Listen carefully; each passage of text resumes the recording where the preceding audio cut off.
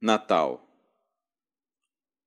Sagrada é a lembrança desse dia, pois grandioso foi o momento em que outrora o Filho de Deus chegou a esta terra.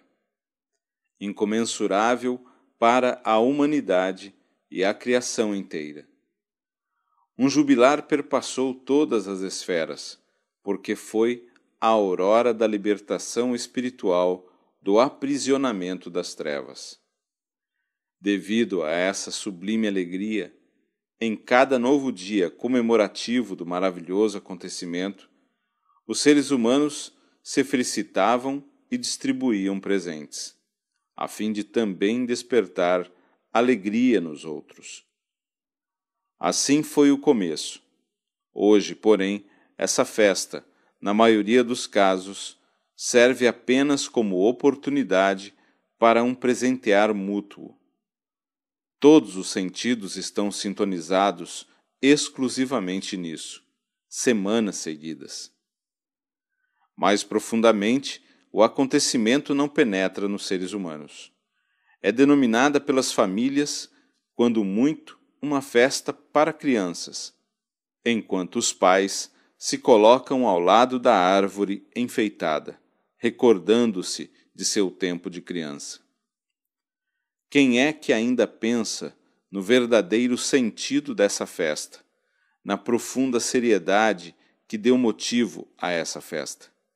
Quem aceita a dádiva que lhe foi trazida pelo Redentor, aprumando-se debaixo da árvore iluminada com o firme propósito de viver, no futuro, de acordo com essa verdade?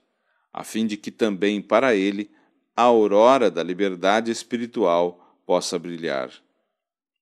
Procurar isso de casa em casa, de localidade em localidade.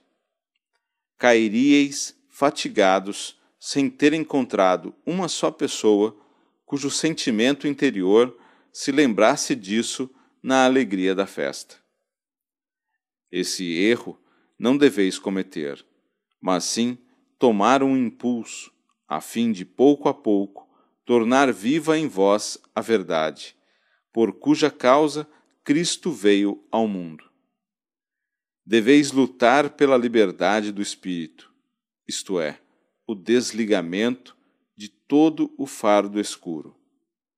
Mas isso somente podereis conseguir se vos sintonizardes naquela imensa vontade que mantém a criação sentir essa vontade de vosso Criador, a fim de acompanhá-lo, é a suprema arte de viver, pois traz consigo o grande servir, que na realidade se torna um reinar, porque através da sintonização correta, todas as forças também seguem convosco, nunca podendo estar contra vós.